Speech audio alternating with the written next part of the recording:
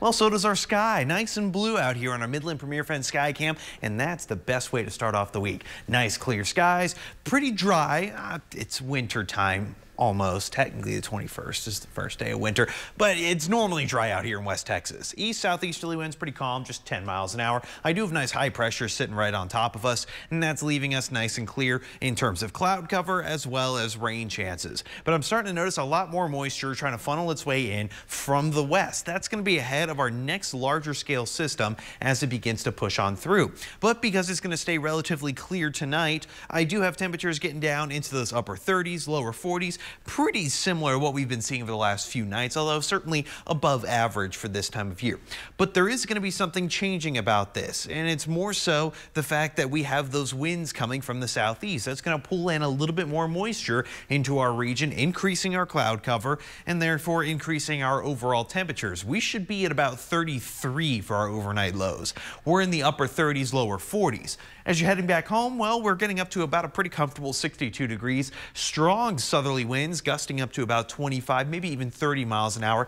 Not enough to really kick up any significant dust, but it's enough to bring in some more heavier cloud cover throughout much of the day. The best part about this is that it's just going to be cloud cover. I don't have any kind of rain in the forecast for your early morning commute and even heading back home. Decently mild, a little breezy here and there, just if you're driving by the airport, maybe have those two hands on the wheel just to correct anything. But beyond that, I don't have a ton of activity going on until we get later in the week. That's why we have the future track models. yeah, I do start to see nothing going on on Wednesday, but going into Thursday, yeah, I'm starting to see a little bit of stuff, uh, just very small chances for some showers going into early Thursday morning. That moves out, and then I start to see a little bit trying to sneak its way in to Fort Stockton, Big Lake, Ozona. That's going to be right around noon on Friday. Again, very small chances, but then the bigger rain days I look to see taking place on Saturday, but then quickly moves back out.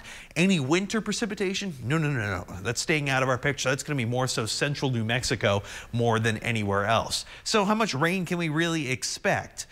a very disappointing amount, maybe a few hundredths, maybe a few, maybe a tenth or so of an inch. That's going to be about it. The majority of the stuff is going to be situated more so along the I-35, I-45 corridor along central and, of course, much of East Texas.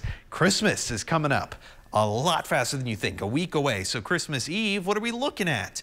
Well, other than looking at Santa, poor Santa getting stuck in the chimney, we should get down to about 40 degrees. That'll put you in the Christmas spirit. What about your nine day forecast? Very mild, slight chance of showers toward the end of the week. Heading into your holiday weekend, it looks pretty nice, cooling down by early next week. Jolena?